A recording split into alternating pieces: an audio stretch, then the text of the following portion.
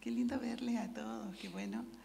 Y realmente hoy día me, me corresponde compartir la palabra y para mí es un tremendo privilegio.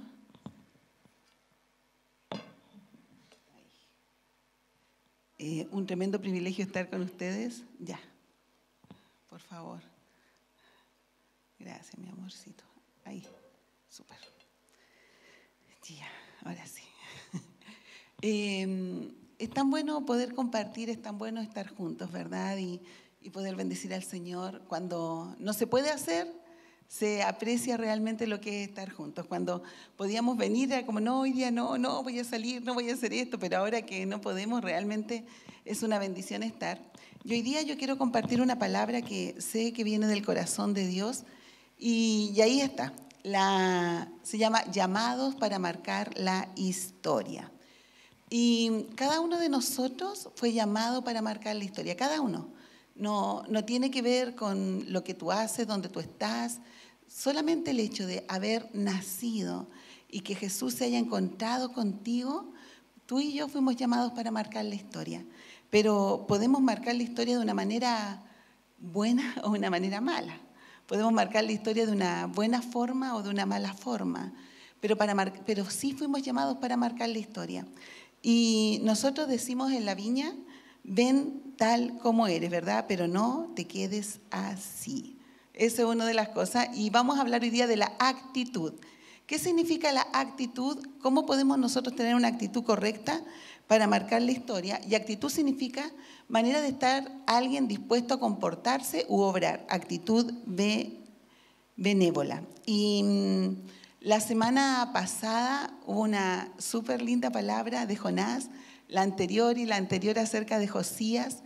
Y cuando uno empieza a mirar la vida de estos hombres de Dios o de estas mujeres de Dios que salen en la palabra, uno dice, realmente algo pasó con ellos, pero me di cuenta leyendo la palabra y hablando con el Señor y conversando con el Espíritu Santo, como era, Él me decía, mira, hubo cosas que marcaron, hay muchas cosas que Dios usa para marcar la historia, pero hoy día yo voy a hacer eh, tres cosas, vamos a hablar acerca de esto.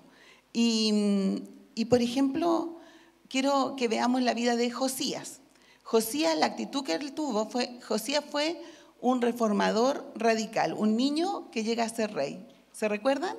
Josías fue un niño que llegó a ser rey, comienza su reinado y él hace algo radical. Él dice, se acabó esto, de ahora en adelante vamos a servir a Dios, el Dios de mi padre David, aunque él era como el bisnieto de David, él dice mi padre David, él tomó la herencia de David. Y él tiene una actitud de reformador radical, realmente fue radical. Por eso Dios también dice, él es un hombre justo. Y, él habla, ¿verdad? Eh, varias veces en las palabras que hemos estado escuchando, se habla, eh, escuchamos de esto, como él era un hombre que decidió obedecer a Dios. También vemos una niña una niña huérfana, Esther. Esther, una niña huérfana que llega al palacio del rey y está ahí entre muchas mujeres para ver si iba a ser ella o no la reina. Y, cuando pasa todo esto de Mardoqueo, que van a matar al pueblo, y le dicen, tú tienes que presentarte delante del rey, y ella dice, no, tuvo una actitud dubitativa, ¿sí o no? Dijo, no, dijo, y si me matan, voy a, corro riesgo de mi vida. Pero le dijeron, bueno, le dice Mardoqueo, puede ser que para esta hora tú estás en el reino. Y ella decide y, tiene una actitud determinada, obedece y decide hacer lo que Dios le estaba pidiendo hacer. Y luego ella puede ver a Dios a través de la obediencia. También vemos otra joven, eh, Ruth, una joven moabita que empieza a seguir a su suegra, ¿verdad? Y vemos la actitud de esta joven una actitud siempre determinada, ¿sí o no? Ella fue determinada y cuando Noemí le dice a la suegra, no, ándate, ándate nomás a tu pueblo, ella le dice, no, no, donde tú vayas yo iré, tu Dios será mi Dios y tu pueblo será mi pueblo. Y si voy a morir, quiero morir al lado tuyo. Una mujer con una actitud determinada y obediente, porque luego cuando ella se presenta delante de vos, ella, la suegra le dice, mira, a esto, esto, le da varias indicaciones y ella hizo todo al pie de la letra. Entonces, su actitud fue determinada y obediente. También vemos a este tremendo hombre, Moisés. cuando el Señor lo saca, ¿verdad? Y, y Dios lo llama con esa zarza y le empieza a hablar. ¿Y qué? ¿Cuál fue su actitud? Inseguridad. Él dijo, Señor, pero yo soy tartamudo, ¿cómo voy a ir? Yo no puedo. Pero luego que él decide obedecer a Dios, él empieza a encontrarse con este Dios y a encontrarse y a encontrarse y después se transforma en un buscador insaciable de la presencia de Dios. La actitud de él empezó a decir, yo quiero más. Y Dios empezó a conversar con él y le decía, pero hay más de ti, yo quiero verte, quiero verte, quiero verte. No tan solo quiero escucharte, déjame verte. Él empezó a buscar a Dios y su presencia. Y también vemos la actitud de este hombre, Jonás, que escuchamos la semana pasada, ¿se acuerdan? Un hombre totalmente intransigente. No voy y no voy. Pero ¿saben por qué? Porque este hombre conocía el corazón del Padre. Estamos hablando del Antiguo Testamento, pero este hombre sabía que Dios iba a perdonar a los asirios. Entonces le dice, yo no quiero, no quiero ir, no quiero ir, no quiero ir. Se va a otro lugar, pero luego que está en el pez y todo lo que escuchamos la semana pasada, y también tienes tu Biblia para leerlo, eh, vemos que él decide obedecer. Entonces, cuando nosotros vemos todos estos hombres y, vemos lo que pasa con ellos, eh, hay algo que a mí me llama mucho la atención y mientras estaba orando y preparando esta palabra, hubo algo que, que, fue el mínimo común de todos ellos. Miren, independiente de la actitud que tuvieron, independiente de la forma con la que respondieron primero a Dios, todos ellos eh, en su corazón andaban en integridad. Y, y yo le decía, Señor, era como, Señor, esto es tan importante porque independiente de la actitud, como por ejemplo como Jonás, que fue intransigente y luego obedece a Dios, su actitud siempre fue de andar en lo correcto. Ellos, ninguno de ellos coqueteó con el pecado. Y mm, hace un tiempo atrás, estando acá, me recuerdo que Dios me dio una palabra para un joven y, mm, y, Dios me decía, Dios se comprometió con él a hacer cosas en su vida y Dios las hizo. Y un día Dios me dice, háblale que él está coqueteando con el pecado y si sigue así, yo voy a retirar mi mano de su vida. Entonces creo que eso es un peligro que nosotros a veces tenemos, porque decimos, pero bueno, ¿y la gracia? Pero la gracia tiene que ver con santidad también y con integridad. Entonces, es tan importante esto, la actitud de nosotros marca la diferencia, pero también no podemos coquetear con el pecado, porque si empezamos a coquetear con el pecado, de una u otra manera eso nos va a alcanzar. Y, por eso, miren, por eso cuando leemos todo el Antiguo Testamento y el Nuevo Testamento, Pablo escribe lo siguiente. Dice, porque las cosas que se escribieron antes para nuestra enseñanza se escribieron a fin de que por la paciencia y la consolación de las escrituras tengamos esperanza. Entonces, todo lo que se escribió en la palabra, todas estas eh, personas que yo les acabo de nombrar, mujeres y hombres que salen en la palabra en el Antiguo Testamento, Dios permitió que se escribieran por eso, porque dice Pablo, a fin dice que por la paciencia y la, la consolación de las escrituras tengamos esperanza. Entonces vamos a orar, vamos a orar para partir ya de lleno. Espíritu Santo, Espíritu Santo, nosotros que estamos aquí juntos y con nuestros hermanos que están en la casa, a través de Facebook, de YouTube o a través de la radio, nosotros queremos pedirte que vengas, que, que nos hables, que tú nos digas aquellas cosas que necesitas conversar con nosotros, aquellas cosas que, que quizás están ahí, Señor, en el tintero y, y tú dices, yo necesito ver cambios. Señor, perdónanos si coqueteamos, Señor, con el pecado, porque sabemos, Señor, que eso tarde o temprano nos va a atrapar. Danos, Señor, tu corazón y, que esta palabra pueda marcar un antes y un después en nuestra vida contigo, en lo que tiene que ver, Señor, con la actitud, con el creerte a ti y con la obediencia. En tu nombre, Señor Jesucristo, en tu poderoso y amado nombre, Señor, tú que estás aquí, oramos. Amén. Amén. Ya, vamos. Em, hay una persona de la Biblia, un personaje de la Biblia, que a mí me gusta mucho y que encuentro que es así como que trascendió la historia, y cuando iba a compartir yo le decía, Señor, ¿qué título le pongo a esto? Y el Señor me dijo, em, nuestra vida marca la historia, nuestras actitudes marcan la historia. Y, y, el personaje o la persona que yo quiero hablar hoy día es acerca de María. María, quien fue la madre de Jesús aquí en la tierra.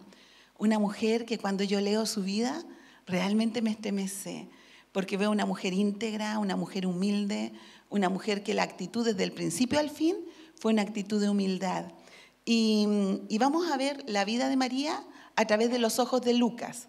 Lucas, el libro de Lucas, fue escrito por un médico que dice la palabra que él investigó con diligencia eh, y escribe este libro de Lucas y él dice, amado Teófilo, excelentísimo Teófilo, investigué todos los hechos que pasaron con, dice, que me llama la atención, investigado, investigué con diligencia. No tan solamente investigó, sino que lo hizo diligentemente. Y, me imagino a Lucas eh, entrevistando a los discípulos, entrevistando a María, entrevistando a Elizabeth, porque él habla desde que, desde que el comienzo, desde que María recibe la visitación del ángel Gabriel hasta el final. Entonces, me llama tanto la atención y Teófilo, Teófilo significa amado por Dios. Qué lindo, ¿verdad? Entonces le dice, aquí estoy, Teófilo, excelentísimo Teófilo, he investigado y voy a hablarte desde el principio, vamos a recorrer toda, toda la vida de Jesús. Y una de las cosas que, que Lucas seguramente por su formación profesional como médico, fue muy detallista, ¿verdad? Porque tenía que serlo. Entonces, cuando él escribe, escribe detalladamente. Y vamos nuevamente a la definición de actitud. Actitud dice manera de estar, alguien dispuesto a comportarse u obrar. Actitud benévola. Entonces cuando viene María, ¿verdad? Viene el ángel Gabriel, va donde María. María está ahí, dice, haciendo quizás qué cosa. Y, aparece el ángel y le dice, bienaventurada tú, dice, entre todas las mujeres. Y le empieza a hablar y le da el plan. Le dice, hay un plan de Dios que, quiere, que Dios quiere cumplir. Y, lo anoté aquí, no, no, está en la pantalla, pero dice, Dios envió al ángel Gabriel a Nazaret, pueblo de Galilea, a visitar a una joven virgen comprometida para casarse con un hombre que se llamaba José, descendiente de David. La virgen se llamaba María. Entonces el ángel se acerca y le dice, te saludo, tú que has recibido el favor de Dios, el Señor está contigo. Y dice que ante estas palabras la mujer se perturba, María se perturba y dice, ¿qué es esto? ¿De qué me estás hablando? Y él le empieza a hablar y le empieza a contar el plan de Dios y ella responde esto, miren la actitud. Ella le dice, ¿cómo podrá suceder esto? Le preguntó María al ángel, puesto que yo soy virgen. El Espíritu Santo, le dice Gabriel, vendrá sobre ti y el poder del Altísimo te cubrirá con su sombra. Así que al santo niño que van a nacer lo llamarán Hijo de Dios. Qué tremendo. Estamos acercándonos a la Navidad. Y qué importante es poder hablar acerca de esta mujer que también marcó la historia. Y ella dice, y también después el ángel le dice, tu pariente Elizabeth también está embarazada y le empieza a contar lo que estaba pasando. Y miren, la actitud que ella tiene. Vimos la actitud de Moisés, vimos la actitud de diferentes hombres, ¿verdad? Cuando Dios les, les pidió hacer algo. Por ejemplo, Moisés dice, yo no puedo. Jonás se arranca. Ruth dice, aquí estoy. Todos tuvieron una actitud diferente y la actitud de María fue la siguiente. Ella le dice, aquí tienes a la sierva del Señor, contestó María, que él haga conmigo como me has dicho. Con esto el ángel la dejó. Y mm, la actitud de María, una actitud, ahí, aquí estoy. Cuando alguien dice, eh, la sierva del Señor, cuando alguien dice, yo soy siervo, es porque tiene un amo. No puede decir soy siervo si no tiene un amo. Ella sentía que Dios era su amo. Y en el comentario de la Biblia quise escribir esto porque, mire, es bien interesante. Esto es como traer lo que pasó al tiempo de hoy. Dice, María fue la única persona que estuvo en el nacimiento de Jesús y también actuó como testigo el día de su muerte lo vio llegar como su bebé, lo vio morir y luego tuvo el privilegio de verlo resucitado como su Salvador. Seguramente su vida se desarrollaba tan bien como ella esperaba. Se habla se había comprometido con un joven carpintero de la localidad, José, y esperaba la vida de casada. Sin embargo, la vida de María dio un vuelco inesperado hasta la sorpresiva visita del ángel Gabriel. ¿Se imaginan que ustedes están en su casa y que de repente aparezca un ángel y les diga, sabes, queremos felicitarte como la ganadora de un concurso en el que tú nunca participaste? María encontró la visita del ángel intrigante y su presencia estremecedora. Lo que escuchó fueron las noticias más hermosas y que toda mujer en Israel esperaba oír. Su hijo sería el Mesías, el Salvador prometido. María no dudó el mensaje, pero preguntó cómo sería posible la concepción. Gabriel le respondió que el bebé sería el Hijo de Dios. Qué increíble. Cuando yo leí esto dije, esto tiene mucho sentido, porque cuando ella escucha, ella dice, ¿qué, qué cosa es esta? Así como, no participé en nada, ¿por qué vienes aquí a decirme esto? Pero cuando el ángel le empezó a relatar lo que iba a pasar, su actitud fue, aquí estoy, la sierva del Señor, a sabiendas que en ese tiempo, si una mujer eh, antes de casarse estaba embarazada, el esposo o el, que iba a ser su esposo la podía abandonar, incluso podían apedrearla, más encima que ella estaba embarazada, o sea, no es que ella no quería, sino, no es que no quería casarse, sino que ella eh, de a poco iba a empezar a crecerle eh, la, la, barriga, ¿verdad? El vientre iba a empezar a crecerle, a crecerle y todo decir, ¿y qué onda? ¿Qué pasó aquí? Pero mm, realmente ella se dispuso para el Señor. Ella le creyó a Dios. Y, mm, hay algo que pasa que también me llama mucho la atención eh, acerca de, esto de creerle a Dios con la actitud correcta. Y, mm, y, pasa cuando ella va donde Elizabeth. Miren, yo puse todo el capítulo, no todo el capítulo, puse varios versículos, pero es interesante. ¿Van conmigo? ¿Sí? Van conmigo. Entonces, miren, vemos que viene el ángel Gabriel, el ángel le habla, quizás tú muchas veces has leído esto y lo has escuchado para Navidad, pero quiero que hoy día le tomemos un, que podamos tomar un sabor diferente de la palabra. Cuando, cuando el ángel va donde María, primero María le cree a Dios, ¿verdad? Y aquí, aconteció, dice, que cuando María va donde Elizabeth y dice, y esta parte me llama mucho la atención, y dice que Elizabeth oyó la salutación de María. Cuando María llega a la casa de Elizabeth, yo me lo imagino así. No sé si pueden imaginárselo conmigo. Me imagino a María corriendo, llegando, va donde Elizabeth y le dice, Elizabeth, y le grita, llegué, porque no había los WhatsApp, no estaban los teléfonos, no había correo electrónico, nada de eso. Y llegó, y cuando dice, cuando Elizabeth la ve, Dice, y aconteció que cuando oyó Elizabeth la salutación de María, la criatura saltó en su, vientre. Juan, Juan el Bautista que estaba ahí, salta y dice, y Elizabeth fue llena del Espíritu Santo. O sea, María no tan solo tenía una relación con Dios, sino que ella aportaba a Dios. Ella caminaba con Dios y ella aportaba a Dios. Entonces dice, y exclamó a gran voz. Esto es interesante, porque ¿cómo exclamas tú a gran voz? Tú dices, bendita tú entre las mujeres y bendito el fruto de tu vientre. O le dice, bendita tú entre las mujeres y bendito el fruto de tu vientre. Eso dice la palabra. ¿Qué dice Lucas? Dice, exclamó a gran voz. Seguramente cuando Lucas va donde Elizabeth a preguntarle cómo sucedió, Elizabeth le cuenta, le dice, mira, resulta que llegó María y cuando ella llega y me saluda, Juan, que ya, ¿verdad? Ya había pasado. Entonces, Juan saltó en mi vientre y yo lo sentí quizás por primera vez, sentí y fui llena del Espíritu Santo. Entonces, cuando ella dice esas palabras, bendita tú entre las mujeres y bendito el fruto de tu vientre, y dice, ¿por qué se me concede esto a mí? Que la madre de mi Señor venga a mí. Y miren, dice, porque tan pronto como llegó la voz de tu salutación, a mis oídos, la criatura saltó de alegría en mi vientre. Y escuchen lo que dice, y bienaventurada la que creyó, porque se cumplirá lo que fue dicho de parte del Señor.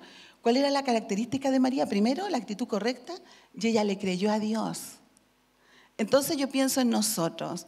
Cuando Dios nos pide hacer algo, cuando Dios nos llama a una misión, en tu trabajo, en tu familia, con quien tú te relacionas, o en el supermercado, en el colectivo, o donde sea que tú vayas, ¿Cómo es tu actitud? ¿Y cómo es cuando Dios te dice, háblale, ora, vamos, camina con esa persona. Si esa persona te dice, ay, me duele tanto la cabeza, ora por él, por algo Dios lo está haciendo. Entonces, lo llevo a nuestro, a nuestro hoy. María tuvo la actitud correcta y le creyó a Dios. Por eso Elizabeth, llena del Espíritu Santo, le dice, bienaventurada la que creyó. Porque somos bienaventurados cuando le creemos a Dios. Ahí somos bienaventurados. No somos bienaventurados cuando logramos cosas. Es lindo lograr cosas, pero ¿saben lo que Dios valora? Es que tú y yo le creamos. Es que tú y yo creamos en su palabra. Es que tú y yo le creamos a su voz y que vivamos también con integridad. Y, y esta es la tremenda oración que hace María. Esta oración es realmente llena de Dios. Entonces dijo María, esto es lo que ella dice, mi alma, dice, glorifica al Señor y mi espíritu se regocija en Dios mi Salvador, porque se ha dignado fijarse en su humilde sierva. Desde ahora me llamarán bienaventurada, dichosa todas las generaciones, porque el poderoso ha hecho grandes cosas por mí. Santo es su nombre. De generación en generación se extiende su misericordia a los que le temen.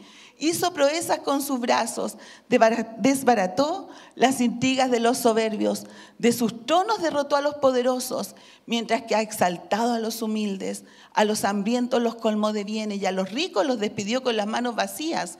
Acudió en ayuda de su siervo Israel y cumpliendo su promesa a nuestros padres, mostró su misericordia a Abraham y a su descendencia para siempre. Tremenda oración. Un aplauso, ¿verdad, María? Tremenda oración a este Dios que cambió la vida de ella, este Dios que vino. Entonces, cuando tú y yo nos preguntamos, ¿y por qué Dios eligió a María? ¿Por qué no eligió quizás a Juana que vivía ahí? O a Dorcas, ¿verdad? Que era una mujer que también era, eh, se relacionó con, con Pablo. ¿Por qué Dios no la eligió a ella? Porque María tenía la actitud correcta, porque ella le creyó a Dios. Ella no dijo, pero Señor, ¿cómo? No le dijo al ángel, no, no, no, mira, no, puede ser más adelante, déjame primero hablar con José, tengo que hablar con mis papás. Ella dijo, aquí está su sierva, haga como ella, como tú quieras, Dios. Y esta oración refleja que ella sabía quién era Dios. Yo puse, ella sabía quién era Dios, para, ella Dios era su Señor y Salvador y nadie puede llamar a Dios Señor si no se siente como un siervo. Ella, a pesar de este tremendo, de este tremendo encargo, conserva su humildad y dice, desde ahora me llamarán bienaventurada, dichosas todas las generaciones. ¿Saben? Cuando estaba estudiando, a mí me encanta la vida de María, me gusta mucho su oración y siempre estoy como repasándola porque encuentro que tiene tanto sentido. Esta oración, nosotros podríamos hacer unas tremendas prédicas de esta oración, porque ella realmente, cuando ella declara la grandeza de Dios, ella dice, mi alma glorifica al Señor. Eh, nadie puede llamar a Jesús Señor si no es por el Espíritu Santo. Ella dice, mi alma regocija al Señor y mi espíritu se regocija en Dios, mi Salvador. Esta, esta oración es tremenda. Pero mm, cuando estaba preparando esta palabra, yo le decía, Señor, está bien, yo voy a compartir de esto, pero ¿qué, qué quieres tú que extraigamos para nuestra vida? Y hubo tres cosas que el Señor me dijo. Primero fue la actitud. ¿Saben, familia? Es súper importante nuestra actitud. En Santiago 4.6 dice, pero el generoso amor que Dios nos da es aún más fuerte. Por eso la Escritura dice, Dios rechaza a los orgullosos, pero es bueno con los humildes. Es súper importante la actitud que tú y yo tenemos delante del Señor. Cuando Dios nos pide algo, que puede ser dar, puede ser cambiar, cuando hay alguna situación donde tú dices, pero yo tengo la razón, ¿por qué yo voy a pedir perdón si yo tengo la razón? Esa actitud no es la actitud correcta, porque nosotros tenemos que aprender a ser humildes a tener el corazón correcto. Por eso dice, Dios rechaza a los orgullosos, pero es bueno con los humildes. Entonces, cuando vimos todos los hombres de Dios y las mujeres, cuando recién partí compartiendo esta palabra, vimos la vida de Esther cortito, fue muy segundo que hablé, pero vimos que la actitud de ellos se dieron cuenta que todos tenían una actitud correcta. Ellos quizás, como Jonás que no quiso, como Moisés que puso excusa, no excusa, sino que fue así como, pero ¿cómo voy a ir yo? Porque hay que recordar que José vivió entre dos mundos, vivió siendo el hijo, ¿verdad? Decían que era el hijo de la hija del faraón, o sea, él vio cómo los egipcios adoraban los dioses, pero también él sabía que era hijo de, los israelitas. Entonces, él vivió entre dos mundos y cuando le dicen, quiero que tú vayas, él dice, pero ¿cómo yo? Más encima soy tartamudo. Entonces vemos, pero él siempre, siempre tuvo la actitud correcta. Todos los hombres y las mujeres de Dios que nosotros vemos en la palabra, que cumplen un propósito mayor, siempre tuvieron un corazón humilde. Otra cosa también importante, aparte de la actitud, es creer, porque la fe agrada a Dios. Dice, pero sin fe es imposible agradar a Dios, porque es necesario que el que se acerca a Dios crea que le hay y que es galardonador de los que le buscan. Entonces decimos, pero sin fe es imposible agradar a Dios. Entonces la fe agrada a Dios. Nuestra fe le agrada a Dios. Y la otra cosa es la obediencia. La obediencia para Dios es súper, hiper, mega importante, nuestra obediencia. Samuel le contestó. ¿Se recuerdan cuando, cuando Saúl va, a enfrentarse con un, con un pueblo enemigo? No me recuerdo bien quiénes eran. Los amalecitas, ¿verdad? Él va a enfrentarse contra los amalecitas y Samuel no llega, Samuel no llega y no llega el sacerdote y no llega y no llega y, Samuel dice, pero Saúl dice, pero ¿cómo no llega? ¿Cómo no llega? Y él presenta sacrificios y, Dios, y, Samuel le contesta cuando llega y le dice, ¿y crees que al Señor le gustan tus holocaustos y ofrendas más que la obediencia a sus palabras? Entiende que obedecer al Señor es mejor que ofrecerle sacrificios y que escucharlo con atención es mejor que ofrecerle la grasa de los carneros. Para Dios la obediencia es súper importante. Entonces, después de haber relatado todo esto, quiero que nos hagamos, me gustaría que nos hiciéramos la siguiente pregunta. ¿Cuál es nuestra actitud en el hoy?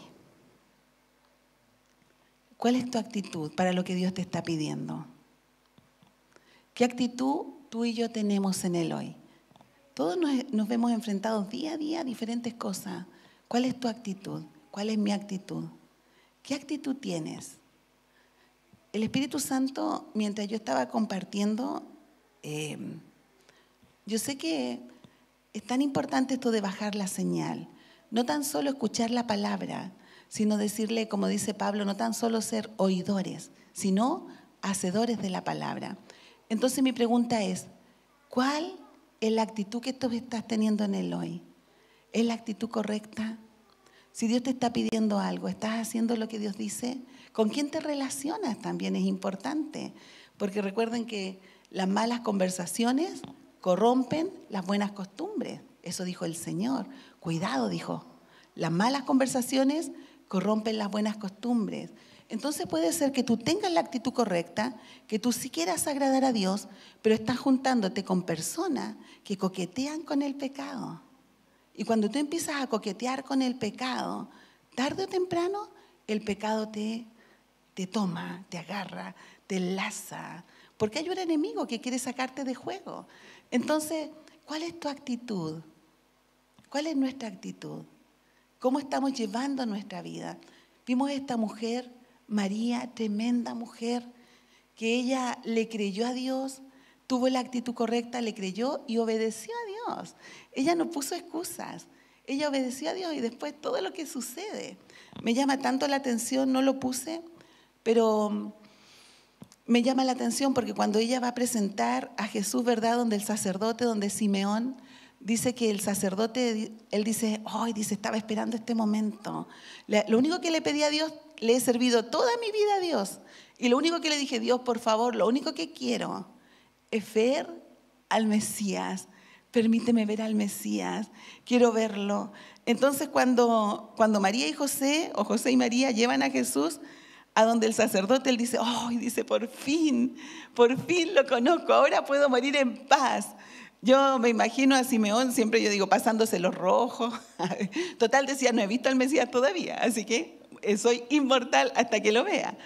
Y, pero hay algo que él le dice a María, cuando, cuando él habla de Jesús y dice, y este niño está llamado para confrontar los corazones y da una palabra profética, y le dice a María y la mira a los ojos y le dice, en cuanto a ti, una espada atravesará tu misma alma. Entonces ella lo mira y me imagino que no entiende nada, pero cuando Jesús muere ahí en la cruz, eso fue lo que ella sintió. Me imagino cuando ella estaba ahí a los pies de la cruz y vio todo lo que el Señor pasó por nosotros, ella sintió que una espada atravesaba su misma alma. Entonces, a pesar de eso, ella avanzó con la actitud correcta. Muchas veces Dios nos pide hacer cosas que no siempre son todo lo que queremos. Dejar una relación no siempre es lo que queremos. Dejar una amistad no es siempre lo que queremos. Hacer cambio en nuestra personalidad, en, nuestra, en nuestro carácter, no en nuestra personalidad, no siempre es fácil. Dejar de decir garabato cuando todos lo dicen no es, no es tan sencillo. Y alguien puede decir, pero eso no es nada. Chistes de doble sentido, actitudes que debemos modificar. La palabra dice que toda palabra buena tiene que salir de nuestra boca. Filipenses 4.8 dice, por lo, por lo demás, hermanos, todo lo justo, todo lo puro, todo lo amable, si hay virtud alguna, algo digno de alabanza, en esto pensad. Entonces nuestra actitud debe ser la correcta. Nuestra creer en Dios debe ser el correcto y el obedecer. Entonces en este tiempo de Navidad que se acerca, que ya viene cerquita, cerquita, ¿cuál va a ser nuestra actitud delante de Dios? ¿Cuál va a ser nuestra obediencia y de creerle a Dios? Yo puse, ¿qué te ha estado hablando Dios en este tiempo? ¿Qué actitud has tenido? ¿Le crees realmente? Entonces debemos obedecer. ¿Les parece? Vamos a obedecer a Dios. Vamos a obedecer a Dios. Eh, estuve en un seminario hace el año pasado, el año antes, sí, el año pasado, y, y, siempre doy este ejemplo porque me parece tan interesante. Una mujer que, que había salido de esto de atracción a personas del mismo sexo, ella salió de esto, de este círculo, y ella decía que cada vez que ella tenía deseos, por ejemplo, de mirar una película que no era correcta, de juntarse con gente que no era correcta, ella miraba la situación y la pensaba y después y decía, no lo voy a hacer porque te amo más a ti, Dios. Te amo más a ti, Dios. Entonces quiero animarles a, a decir, Señor, te amo más a ti, Dios. ¿Les parece que oremos? Y nos pongamos delante del Señor y le digamos, Señor, quiero tener la actitud correcta quiero obedecer, quiero creerte y quiero obedecer. La actitud hace la diferencia, porque Dios rechaza a los orgullosos, pero es bueno con los humildes. Es más importante obedecer a Dios. Vamos a orar. Señor, nosotros te damos gracias por tu palabra. Te damos gracias por tu voz, Señor. Tu palabra realmente es viva y eficaz. Te damos gracias, Señor, porque a través de tu palabra tú también desnudas nuestros corazones. Cuando miramos, Señor, ejemplos como esta mujer, esta maravillosa mujer, Señor, con esta tremenda palabra, con esta tremenda oración. Yo me imagino, Señor, a Lucas entrevistándola y, y preguntándole, cuéntame María, ¿cómo fue?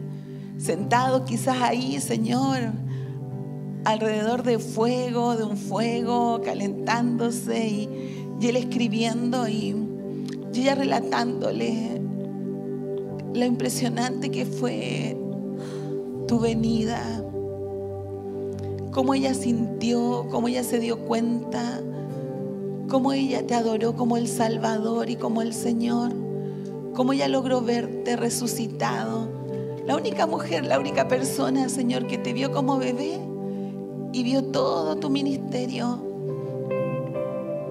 Señor, nosotros en esta mañana queremos decirte que vengas, Señor. Queremos tener un corazón, Señor, como ella y como los hombres y mujeres de la palabra que te creyeron a ti, Señor. Nosotros queremos marcar la historia. Eso queremos hacer nosotros, Señor. Marcar nuestra historia. Josías, Esther, Ruth, ellos ni siquiera pensaron quizás que iban a marcar la historia de su tiempo, pero tú los usaste, Señor, para marcar la historia, para traernos a nosotros, Señor, palabras, palabras de vida eterna, palabras de verdad, palabras que nos guían, palabras que marcan destino. Señor, nosotros esta mañana te pedimos perdón. Perdónanos, Señor, si no hemos tenido la actitud correcta. Perdónanos, Señor, si a veces nos creemos dueños de nuestro propio destino, dueños de nuestra historia. Perdónanos, Señor, si hemos, nos hemos enlazado, Señor, con gente incorrecta. Perdónanos, Señor, si también muchas veces empezamos a coquetear con el pecado, Señor mirando cosas que no corresponden, hablando cosas que no corresponden, haciendo cosas que no corresponden. Perdónanos, Señor. Queremos aprender a obedecerte como a ti te agrada, Señor. Queremos marcar la historia, nuestra historia, Señor. Que cuando se hable, Señor, de, de nosotros, puedan decir que fuimos íntegros. Puedan decir, Señor, que te amábamos a ti. Que fuimos personas, Señor, que lo que más queríamos siempre era agradarte más a ti, a pesar de nosotros. Cuando nos encontrábamos en situaciones de tentación, te decíamos, Señor, pero te amo más a ti. Eso queremos, Señor, siempre demostrar que te amamos más a ti. Te bendecimos esta mañana, Señor. Declaramos tu reino y tu justicia. Gracias, Señor. En tu nombre, Jesús. Amén.